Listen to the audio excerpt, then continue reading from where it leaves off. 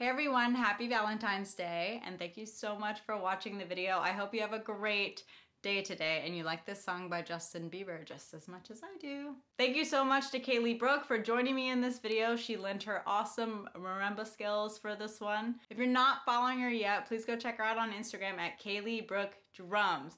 She also has a great YouTube channel. You can check it out here. I'll leave the link down below. So do me a favor and go subscribe to her channel.